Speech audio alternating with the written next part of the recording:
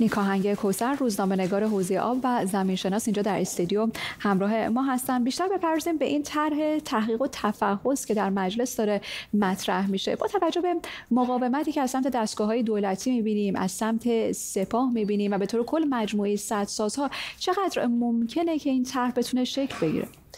ببینید یه نکته باید در نظر بگیریم که گروهی از فعالان جنوب غرب ایران به ویژه گروهی که به نام زاگرس مهربان می‌شناسیم. سالهاست دارن تلاش می‌کنن که ساختار وزارت نیرو و پیمانکارانی مثل قرارگاه خاتم الانبیا و شرکت های مشاوری مثل مهاب رو پاسخگو بکنن بابت پروژه هایی که آسیب های غیرقابل جبرانی به محیط زیست و حوزه های به ویژه حوزه کارون و دز و دیگر حوزه وارد کردن و آب رو می‌خوان از اونجا منتقل بکنن به فلات مرکزی ایران مثل زایند حوزه زاینده رود یا حوزه‌ای که یزد درش قرار داره یا مناطقی که در محدوده استان کرمان هستند هر آبی که از اونجا برده میشه سهمی و حقابه از محدوده مثلا کارون و حوزه های زاگرس رو کمتر می‌کنه و شرایط زندگی رو در اونجاها سختتر می‌کنه و این خودش بیعدالتی محیط زیستی است که به نفع یک طرف باشه به ضرر دیگری. اما از طرف دیگر برای راضی کردن اهالی مثلا یک حوزه میان برفرض از زاینده رود هم آب رو منتقل می‌کنن بنبروجن رو که بیان به سمت کارون ببرن که باز هم اون هم نماینده مجلس اینجا اعتراض می‌کرد.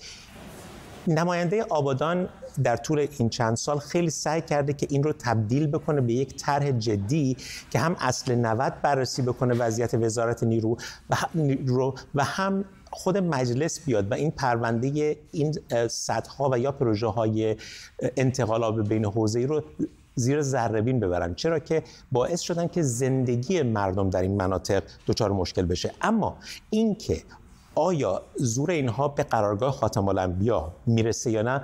محل سوال است. چون مثلا خیلی از پروژه انتقال آب برفرض که دست. خاتم الانبیا بود آقای محسنی اژه‌ای از اونها حمایت می‌کرد.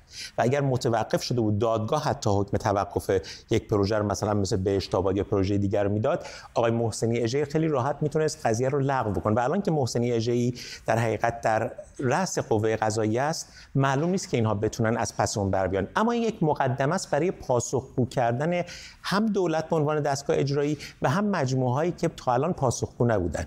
اما بیشتر برای ما این موضوع باز بکنید که خواسته نماینده هایی که این طرح رو پیشنهاد دادن دقیقا چیه؟ ببینید مثلا نماینده آبادان می‌داند که اگر آب در بالا دست کارون جابجا جا بشه و به مثلا حوزه زاینده رود بره شهر خودش حوزه خودش بی آب میشه در مواقعی از سال یعنی تمام اینها به هم مربوط هستند و بعد آثاری که گذاشتن روی زندگی مردم. اونقدر زیاد بوده که ما در طول چند سال گذشته دیده ایم. همین پروژه ها باعث شده مردمان زیادی بی خانمان بشن و همچنین در سال 1400 شاهد این بودیم که در خوزستان اعتراضات خونبار شد به خاطر این پروژه و مردم در اونجا اعتراض کردند. در چهارمحال بختیاری هم در محدوده پاییز پارسال وقتی که مردم در کف زاینده رود خواستار حل مشکل زاینده رود بودن ای از سنف کشاورزی می‌خواستن که خب پروژه انتقال آب از حوزه کارون به زاینده رود دو مرتبه جریان بیفته بر اساس مصوبات شورای عالی آب. اما در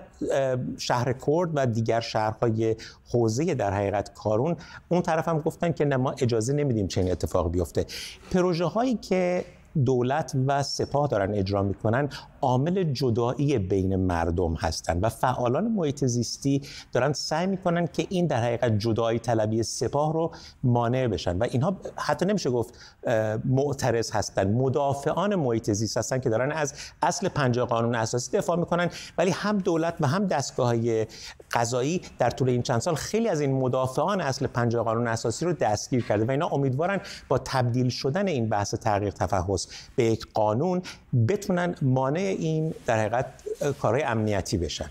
اما با نفوذی که قرارگاه خاتم الانبیا داره واقعا فکر می‌کنید که بتونن موفق بشن؟ بسیار سخته و باید شاهد این باید بررسی بکنیم که اینها تا چه حد زورشون می‌رسه. چون قرارگاه خاتم الانبیا هم راه در حقیقت پوپولیستی رو می‌تونه داشته باشه همونطور که مثلا در لورستان میاد و می‌خوان سدهای معشوره و سدهای بختیاری بسازن که ایجاد اختلاف خواهد کرد بین مردم لورستان و خوزستان و یا در محدوده که سدهای دیگری که داره ساخته میشه در محدوده زاگرس مثل خرسان سه مثل بهشت آباد مثل مارون دو مثل چمشیر اینا هر کدوم می‌تونه مشکل ساز بشه و سپاه تالا پا پس نکشیده. اما وقتی ثابت بشه که هم دادن مجوز به این طرحها غیر قانونی بوده و هم وقتی مثلا امسال 411 طرح در بودجه 1401 فاقد مجوز محیط زیستی بودن این روال رو شاید بتونن تغییر بدن. اما ممکنه خیلی از طرحهایی که واقعا نباید مجوز داده بشه